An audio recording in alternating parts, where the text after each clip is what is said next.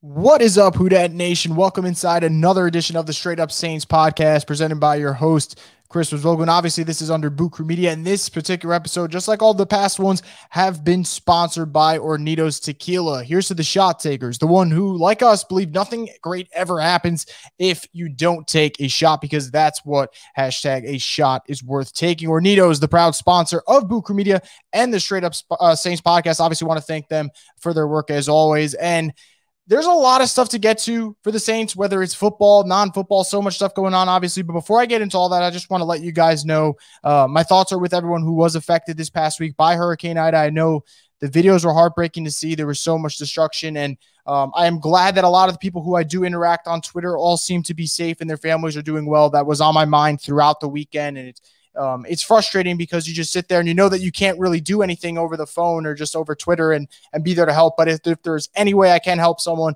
please reach out to me via Twitter DM and and I'll talk to you and we'll see what we can do. But obviously, my thoughts are with everyone right now who was affected by Hurricane Ida, which somehow made its way uh, to New York last night over here and was, you know, a little bit of a threat here as well. So my thoughts are with you guys. And because of Hurricane Ida and the impact that it did have, the Saints are not going to play Week One in New Orleans. We all know that now. Instead, they're going to play in Jacksonville. We thought maybe AT&T Stadium. I know a lot of us wanted to see a college football stadium, but because of the NFL rules with the replay booth and having the accessibility to New York, that was never going to happen. So they're playing in Jacksonville was the only venue that really worked out. But there's also other reasons, like Jeff Duncan pointed out. Aaron Rodgers' record in the Sunshine State isn't that good. Neither is his passer rating. So you know what? The Saints will take every advantage they can get when frankly they're going to lose a big advantage not being in New Orleans with 70,000 fans at the Caesars Superdome, screaming their heads off and just getting loud. Obviously, that affects them. Um, but they're going to be in Jacksonville, and that led to probably one of the most tone deaf comments I've ever seen from an NFL GM. And, and Packers GM Brian Gutekunst was asked about the Saints game going to Jacksonville, and he basically said, uh, "I don't think we had a whole lot of say in it. I would have loved if it was in Green Bay." Now, I know you can kind of take it any way you want and interpret it in a different way. But when you're a GM, and I get it, you're supposed to defend your team. But a natural disaster can't be used as your way of saying you're inconvenienced. I think that is probably the dumbest thing I've ever heard. It's ridiculously tone deaf. And I don't know why he would expect the Packers to just get an extra home game that is not part of their 2021 schedule. So I was frustrated by it. I tweeted, I now see why Aaron Rodgers doesn't like Brian Gutekunst, which is legit because that has been the beef between Rodgers and the Packers. And I firmly believe that. I would change his name and call him something else because there's a way to kind of flip it and make a, a weird spin on Brian Gutekunst's last name. I'm not going to do it.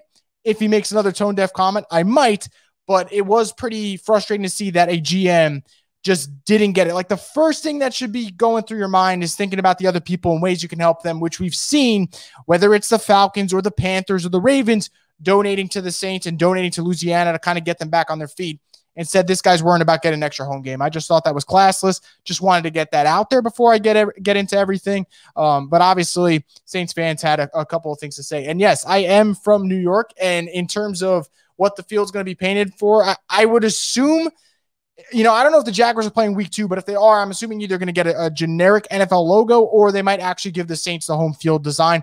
Either way, I'm not really too picky as to what's going to happen. I'm not sure what will happen. I'd assume that the NFL logo will be at the middle of the field, though, and then maybe they do something from the end zone, but I'm not sure if they want the grounds crew to be working overtime for the first two weeks of the NFL season, but we'll see what happens, obviously, there. Now, before I get into something that I did promise, which was the 53 man roster, or at least the current 53 man roster, and my observations and takeaways because I got five that I want to talk about. What I really want to discuss real quick is the Saints' current situation. We know they're going to be away from New Orleans for a month, and that really scares a lot of people. And first off, there are things that are bigger than football, this being one of them. What happens now? It happens. You know, you can't sit there and complain and, and worry about, oh, but this hurricane's going to mess up the Saints' chances forget about that. Like the, the Saints playoff chances, Super Bowl hopes, whatever, that should always come way after family and, and, friends and anything else that could be affected by this hurricane. So forget about the Saints Super Bowl chances for a second. That being said, I don't think there's a better coach in the National Football League who is better equipped to handle a situation of this magnitude than Sean Payton. And there's reasons why, and obviously having the experience being in a similar predicament is one of them the fact that Sean's just a great leader of men and just being able from a genuine level, being able to understand your players and know what they're going through and be there for them, I think that matters a lot. And I know a lot of Saints fans are frustrated with Sean Payton, whether it's him not getting extra wide receivers or him handling the quarterback battle the way he did, or him constantly being loyal to Drew Brees the last couple years, which apparently ticked off some fans. Whatever it might be, I, I'm not saying he's, you know, free of criticism, but he does deserve a lot of praise for this particular situation because this is where he specializes. Just being that guy where you can have a heart to heart with your player and understand what they're going through and being able to relate and be there for a moment of crisis that's important. So i think sean payton is the man to handle this. And if the saints do overcome this and we're past the first month of the season and they're able to be 500 or even over 500 i think we're going to look at this and say okay sean payton is the reason why so i am very very pleased and happy that the Saints have a leader like Sean Payton who can get them through a time like this. So I think that is definitely something to discuss. Now, I love you guys. Anyone listening, leaving comments. I am like dying over here in terms of losing my voice. I don't know what the heck happened, but this really is going to be interesting. Now, let's switch over and move to the 53 man roster because there are so many takeaways. And there are five in particular. I kind of said it before that just blew me out of the water in terms of wow, and the first one was the cornerback rotation. We've been talking about the cornerbacks for a while, whether it's us complaining, us being pleasantly surprised. There's so many takeaways. But the one that I took is that the Saints only have three corners on their roster. Like, how did that happen?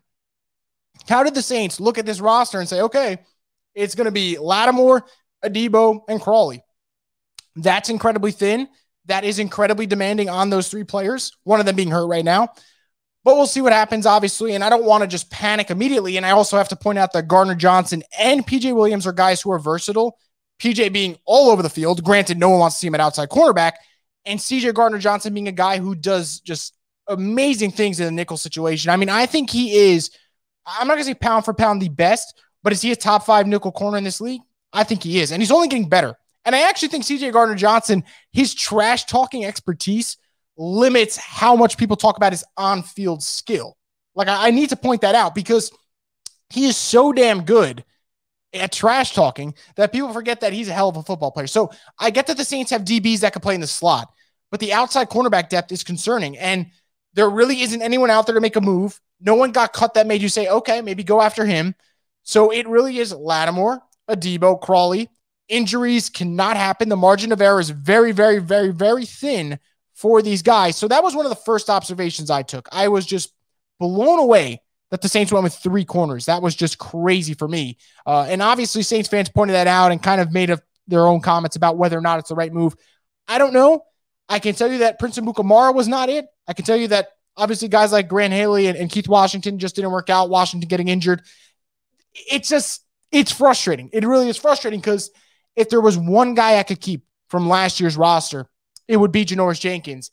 And I think depending on how the season goes, we might look back and be like, man, if the cap was just a little bit higher, Janoris Jenkins is on this football team. And if Janoris Jenkins is on this football team, it changes so many things. So the cornerback position and the lack of depth at the outside cornerback spot was one of the glaring things. I mean, we knew it was going to be a problem, but then when the 53 man roster comes out and there's three corners on that 53 man roster that play on the outside, and I'll, I'll go P, I'll go three and a half with PJ not great. But anyway, let's kind of move on and switch gears here. My second observation the Saints wide receivers, the team likes them a hell of a lot more than we do because I can go on Twitter right now and I can find about six tweets talking about how they don't like the Saints wide receiver corps or we need another receiver or outside of Callaway, no one's going to get it done. I can find that very easily. It'll take me a second to find all these tweets. And honestly, half of them might be from me. So I don't know why I'm even subbing myself with the way I'm talking about this group. But what the Saints have said time and time again, and what their actions continue to show you, is that they like this group better than you, better than me, better than any Saints fan. They really do. So that is something that uh, I'm very interested to see what goes down in terms of whether or not we're going to see the Saints adjust their wide receiver corps. I don't think we're going to. I don't think that's going to happen. Uh, so I really think that Saints fans are just going to have to brace for yet another year of okay, Thomas can do his thing, Callaway can do his thing. Who else is going to step up? That is kind of the worry because there was a lot of receivers that got cut, whether it was Johnson from the Chargers or John Brown from the Raiders. um, a bunch of other guys too, actually rookies like uh, Williams from Auburn who got cut from Denver. That a lot of us were like, hey, I would love to see them on the Saints, and yet the Saints didn't scoop them up. That tells me that they like their, their receiver group better than we do. And if I had a, a freaking dollar for every time I've heard Sean Payton say we feel comfortable with the guys that we have at that position, I'd be doing pretty well for myself. There'd be a lot more in the background than just the pictures that I can afford and put up right now. But it really is, it's marveling to me how they see the position group different. And I'm not one to judge because they know more than me, obviously, but I did think there was wide receiver talent out there, like a John Brown, who is a two years removed from a thousand yard season and is a deep threat. Imagine him with the Jameis Winston. I do think that would be interesting. But hey, maybe this means that Tre'Quan's doing better in terms of health than we think, and Deonte Harris won't get suspended, and Michael Thomas is going to come back and be at 100%. But those are a lot of ifs, and those are a lot of moving parts. So the wide receiver group left a lot to be desired. But I'm not going to be all negative. There are a lot of good things to take from this group, a lot of good things. But the the and the one main one is the linebacking group. Do you know how much the Saints love their linebacker corps? They love their linebacker corps so much that they kept seven linebackers. They kept Baun, they kept Demario, they kept Kwon Alexander, Pete Werner, Kaden Elliss, Andrew Dowell, and Hansen all on the roster. And we were all talking about, man, one of them's going to get the boot. And whoever gets the boot, watch them play well for another team. Well, we don't have to worry about that anymore because all seven are on the Saints roster. And whether you like it or not, I've been saying for a while, the strength of this team is going to be the front seven. And now we're going to get to see if the front seven actually can be the strength of the team to this point where they're going to be competitive. They're going to be a playoff caliber roster because they have seven deep, seven guys who can actually make plays. And like I know the attention is going to go to Demario and Kwon, and then the secondary youngsters like Baun and Werner. But man, Kaden Elliss and Andrew Dowell and Hansen, all of them, all of them made a lot of plays during training camp and made plays during the preseason. And John Hendrix, who's one of my favorite Saints reporters out there, said every practice Dowell came up with a huge play. So why not keep these guys on there? You have young talent, affordable talent, controllable talent in terms of contract length. I like that they kept the seven linebackers on there. And while there are concerns about depth at corner, concerns about depth at receiver, there are no concerns about depth at linebacker. And I remember, guys, if I go back and pull up an old straight up Saints podcast from, let's say, March or April, I would probably be sitting here at this same desk on this same show saying, man, I'm worried about linebacker. Fast forward a couple of months down the road, I'm not worried about linebacker. I'm excited about linebacker. How things change, how quickly they change, it's amazing. Uh, so I really did like to see what happened with the linebacker group, and I commend them for keeping the seven. I know it looked crazy, and my eyes almost kind of popped out of my head when I saw it, but I really do like that they kept the seven linebackers. Now, another positive note Tony Jones Jr. was running people out of jobs in the preseason. And if he had another preseason game, which did get canceled, obviously, because of Hurricane Ida, I think we could have seen even more explosive ability from the second year tailback out of Notre Dame. I mean, this kid might be what the Saints are missing in the run game. Like, I know Kamara's great, and I know Latavius can be a bruiser, but they were always missing one more runner. And now they have that in Tony Jones Jr. I'm really excited for this kid. And the fact that he was able to beat out Devonta Freeman and arguably beat out Latavius Murray, I think time will tell, obviously, the story. But if he starts getting more snaps than Murray, that wouldn't really surprise any of us. He was better in the preseason by a mile. He had more juice. He's a younger runner. The way he ha- he makes his cuts and he uses his vision, I think he fits perfectly in this scheme. And we've seen the Saints kind of take guys, whether it's a Chris Ivory or Pierre Thomas, and, and all of a sudden you put them in this role, you put them in this offense, and they turn into a really good role player. Why can't Tony Jones Jr. do the same thing? So that is another player who you look at this roster and you say, man, there are concerns. But if I'm looking about the optimistic take and I'm taking that half, you know, glass half full approach, Tony Jones Jr. belongs in that approach because he is a young player who has experience with Jameis Winston because they worked out a lot, is really young, gives you more juice to that offense. That man, if him and Kamara could become a nice one two tandem at the running back position, that's going to be really great for this offense with an offense that, like I said, is lacking wide receiver talent. You add a running game, that opens up a lot of things. So I'm really excited about Tony Jones Jr. And after the first preseason game, truth be told, guys, I was a little worried that he might be a guy that the Saints cut and regret, like a Boston Scott. And you know what? Boston Scott for the Saints, I don't blame them for cutting him at the time because they were loaded at running back. I didn't want to see history repeat itself. It's not. Tony Jones Jr. is here to stay. And I'm really excited to see what he does this upcoming season. Now, the fifth and final observation what the hell are the Saints going to do at kicker?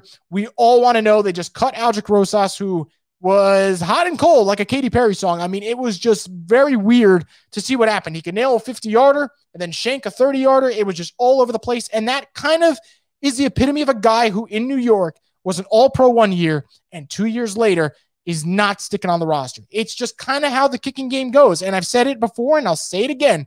Will Lutz's absence is going to hurt this team at some point unless the Saints magically figure out this kicking situation before the season opener, which, by the way, check your watches. They got about nine days to figure it out. So, not a lot of time to do that. Uh, so, I am a little concerned. I, I tweeted this and I got a couple of questionable, I mean, honestly, it was a questionable tweet on my end, but I said that the Saints kicking situation was the football equivalent of The Bachelor. A lot of contestants, not a lot of true connections. There's only one rose to give out and no one's getting it yet. And I know that sounds crazy. I know you guys are sitting there going, man, this guy Chris watches The Bachelor, which, by the way, I do occasionally. It is a weird situation for the Saints because they tried so many options. They tried Brett Maher. They've tried Aldrick Rosas. They looked around, whoever got cut, and they were shopping left and right to see what they can do about it, but it just didn't work out for this particular situation. So I am really going to keep a close eye on this one. I don't know what's going to happen. The best we can do is hope that whoever comes in holds down the fort, makes the manageable field goal attempts, and doesn't, you know, isn't god awful to the point that the Saints are losing close games because when push comes to shove and you're in a one possession game, your kicker can't make the big kick. And that's something that I've been scared about for the last month. I'm still scared about it. The fact that they cut Aldrick Rosas now and they really don't have an answer does concern me. And that was the main takeaway. Those are the five the thin cornerback, the wide receiver depth chart, them liking it more than us, the linebacker play, Tony Jones Jr., and the kicking situation were five for me that I just looked at and I said, man, I don't know. It, it is going to be very, very interesting to see what happens there. But those were observations for me. Obviously, if you have others, drop it in the chat, guys. I'll put it up on the screen and we'll talk about it uh, here on the Straight Up Saints podcast. Obviously, since we're live on YouTube, live on Twitter, and then this will be posted later this week. So if you guys have any observations about the roster that you want to put up, get your voice be heard, let me know. I'll put it up on the screen and we'll talk about your observation for this one for sure. Uh, and yeah, I thought this was actually really interesting. So the Ian Book situation was so fascinating because I was so worried that the Saints were going to get really cute with it and say, okay, let's waive Ian Book, keep Trevor Siemian, and just claim Ian Book because no one's going to pick him up. That's not the case because the fact that Ian Book was apparently already receiving trade calls or the Saints were receiving trade calls about Ian Book shows that there is interest and shows that he is progressing better than people think. And who knows if they had that third preseason game, maybe it would have been Book's chance to show what he can do. Uh, and we just didn't get to see it because it got canceled, obviously. So I, I think hopefully by the end of the, you know, midway through the season, the Saints can say if something happens, Ian Book is your backup quarterback. But you know what? At the same time, Trevor Siemian does have starts under his belt. Trevor Siemian has been with the Saints for the last year and a half. So I'm okay with him being technically above him on the depth chart right now. But you hope that changes because if it doesn't change, then how can you sell us Saints fans that Ian Book could be the future, which again, that it seems right now like a pipe dream. But how can you sell that if he can't beat out Trevor Siemian? So that's something that I obviously want to keep a close eye on and see what happens there. Obviously, if you guys have more comments, leave them in and I'll get to them for sure. What about the fullback situation? Unless I missed something, we don't have it on the roster. So the fullback situation obviously was a concern because we weren't sure what was going to happen, but it actually got cleared yesterday. So the Saints not only did they claim Adam Prentice, who was from the Denver Broncos, who actually is a three time state wrestling champ back at high school. So this man is going to be getting down and dirty at the fullback position, which I can't wait to see. They added Alex Armah to the practice squad. So the way I see it, this fullback competition, which has been a thing for the last two months, is not going away. The Saints don't have a definitive answer, but I am glad that Alex Armah is not leaving because that was one of the only signings they did in free agency. And I was here to say that I liked it because he's versatile. But the Saints don't have a definitive fullback, but they do have two options. So I wouldn't really panic about that. I think they'll figure it out, but it is a little bit on something on the back burner that you should consider. So fullback, in my opinion, is something that you keep a close eye on, but I wouldn't hit the panic button about it because it's the Saints. They usually find a way to manufacture decent production out of their fullback. Now, Obviously, drop in more comments and I'll get to them in a little bit. Uh, but another thing I want to talk about in just a couple of minutes is the Cam Newton thing that someone sent me, which was just bizarre. Uh, but before I do that, comment here from Jabari Tony Jones should be RB2. And if Harris gets suspended, than our wide receiver depth chart is, yeah, you're using that emoji now. I don't blame you. I absolutely agree on both points. I think Tony Jones Jr. proved to me that he has the burst you want from a running back two. And I think for the Saints, running back two's kind of been a concern for the last couple of years now. Obviously, Latavius has been getting the job done. And he, you know, it's someone that I have a lot of respect for. And I think he was underused the last couple seasons. But Latavius now is looking a little slow. Now, he did have a great week of practice last week, which is worth pointing out because if he didn't, then maybe he was on the roster bubble. So that is a good sign. But I think Tony Jones Jr. deserves to be RB2. Now, as for Deonte Harris, you guys are asking, is he going to play week one? As of now, Deonte Harris is playing week one, which is massive because he is that vertical threat. He has that guy you can use on the screen pass, on the end around, and he's also an all pro damn kick returner. I mean, the man is great at flipping the field. And if you're going to beat the Packers, Special teams is a big part, especially in the return game, and having good field position to make your life easier for Jameis Winston at quarterback. I think that is important. So I don't think Deonte Harris is going to get suspended for week one. I think if he does get suspended this year, it's down the road. Because remember, guys, you don't really get suspended unless your case is sorted out. And Deonte Harris and Marshon Lattimore, their cases are still in limbo. And as long as their cases are in limbo, the NFL, technically by rule, should not suspend them. So I know you don't want to trust Roger Goodell. I'm not saying to trust Roger Goodell because, man, that I'll leave it at that. You guys know how I feel about Roger Goodell. But I do think that we should be in the clear for week one with Deonte Harris and for Marshon Lattimore, which is really good news because the Saints are going to need both them if they're going to beat the Packers in week one. Now, again, guys, keep leaving your comments in here and I'll pull them up on the screen and we'll discuss. But before I kind of get to my last thing here, I saw someone tweeted at me a report from Jason La Canfora. And Lacamfora is a CBS insider per se. His scoops aren't always the best, but obviously people do trust his word from time to time he put out a piece about Cam Newton and Cam Newton's potential landing spots. And one of the landing spots were the New Orleans Saints. And I was so thrown off. And, and let me just put a disclaimer out there. I absolutely love Cam Newton. Like I've loved Cam Newton since Auburn. It was obviously very, very annoying to see him go to Carolina because then you have to deal with him for so long. And he was so good for so many years. And I am wishing him the best. Like I do think he's good enough to still be in this NFL. And I don't think that he is a guy who is so washed up that he can't play in the NFL. I, I think that's a lie. But the Saints have no need for him. They have zero need for Cam Newton. Personally, I think Jameis Winston is better than him at this stage. And honestly, Cam, because of his physical limitations now, because of all the injuries, is at the point where I'm sure the Saints would rather see what they have with Taysom Hill. Whether it's right or wrong, they would rather. But with this season, we're riding or dying with Jameis Winston. That's the name of the game, and that's how we're going for it. So I thought the Cam Newton landing spot in New Orleans was a bit bizarre. I'd throw him anywhere else, in my opinion. I just don't think this is a spot for him. I think he's he makes more sense for Atlanta than he does New Orleans. So I was a little thrown off by that. And honestly, if you guys see it, I would disregard it because I don't think it's going to happen. And I would just put that report uh, in the trash, honestly. That's just my opinion uh, there. So I'm going to get to more questions and concerns you guys have. Do you see Lattimore shadowing uh, Davante Adams week one, so our cornerback doesn't get toasted. Look, that is a really, really interesting point. And funny enough, Davante Adams didn't play last year when the Saints played the Packers, and we didn't get to see how the Saints would have approached it. I think we will see Lattimore on Davante Adams though, because one, Lattimore gets up for these matchups, and two, if the Saints want any chance of beating the Packers, Davante Adams cannot be running all over the field in Jacksonville, making plays after play after play after play after play. So I do think that Lattimore will be on him. And kind of to your secondary point here, Allen Lazard was beating Lattimore, and it kind of got to that point where we said, okay, does Lattimore take the secondary receiver serious? Well, if he's still not taking him serious, you absolutely throw him on Davante Adams, and you'll see. I'm sure Davante will win some reps. I'm sure Lattimore will win some reps, but you want alpha versus alpha, top corner versus top wide out.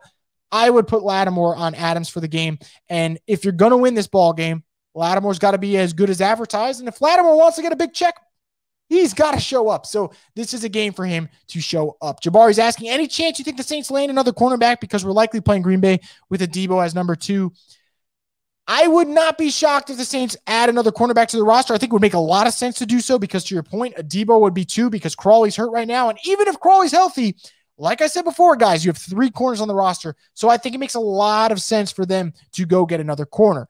Will they? I'm not sure. I can see it absolutely happening. But right now, you're looking at this cornerback depth chart and you're saying, man, it is not very deep. it is about as deep as a two foot pool right now. So I am not really sure how the Saints are going to approach the situation, but I do think it would be wise of them to look around the league. And remember, the Saints can make tweaks when week one comes around because Will Lutz is not going to play for a while. Michael Thomas is not going to play for a while. So that opens up roster spots for the Saints to tinker around with this. So I do think they should be looking in the market for a cornerback. But it's going to be interesting. And we still have a little bit over a week till this unfolds. So I will be back with another episode. I'll have a guest for that one. We'll talk about the Saints Packers matchup, what to look forward to, what to not look forward to. And while you guys are at it, if you haven't yet, go check out the latest video I put up about Marcus Davenport, who Yes, I have criticized on the Straight Up Saints podcast a lot, but I do think he is bound and primed for a breakout game against the Packers, and I listed it why in that YouTube video. So just go to my Twitter or go to Boot Krewe Media's YouTube page, and you guys can check out that video. But that's going to do for this particular edition of the Straight Up Saints podcast, guys. I will be back with more content after Labor Day weekend. I cannot believe Labor Day weekend's already here. It's already September. Don't know where the time went, uh, but you know what? I'm kind of glad because it's football season, and we're here to talk Saints football every week. And that's what makes me happy. So thank you guys for tuning in for this one, leaving your comments and concerns. If you have any more questions that I didn't address in this particular podcast, always feel free to hit me up on Twitter, Instagram, and I'll get back to you guys as soon as possible. Enjoy the rest of your Thursday, guys. Enjoy the upcoming Labor Day weekend and stay tuned for more content next week here on the Straight Up Saints podcast.